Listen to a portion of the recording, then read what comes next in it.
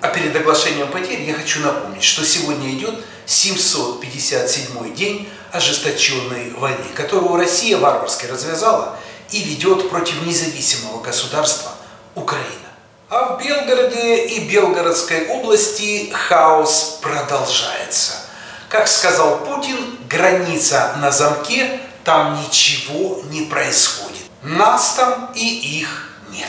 Ежедневно уже две недели подряд горят и разрушены дома, ежедневно слышны взрывы и выстрелы. Население Белгородской области постепенно уезжает и эвакуируется. В магазинах кончаются продукты, а ехать в Белгородскую область поставщики не спешат. Сегодня утро, как всегда, по-прежде, по-прежде громкое. И вчера был день громкий. Вот. Я сейчас еду в магазин. Надо купить. Дети попросили окрошку. Надо что-то есть, готовить. Вот как можно что-то приготовить, если полки пустые в магазинах? Просто. Ничего. Ни огурцов, ни помидор. Ни фруктов детям на той стороне. Вообще ничего нету. Поеду сейчас еще в один магазин съезжу. Но что-то, знаете, вообще не айс. То есть товаров первой необходимости нету вообще. Граница на замке. Там ничего не происходит.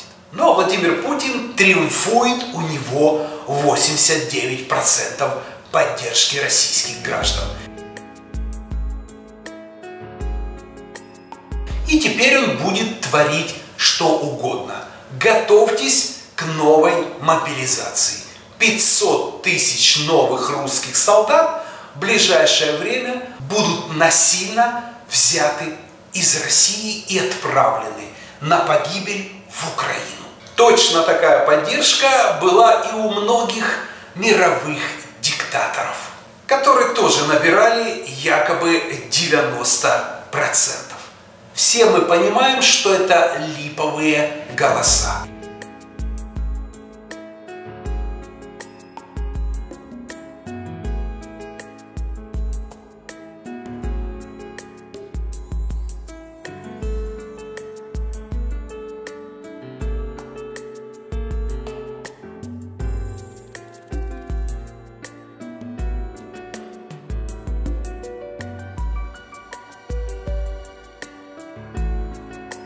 И даже если люди ставили птички напротив будущего президента Владимира Путина, это потому что они боятся его и его преступной власти.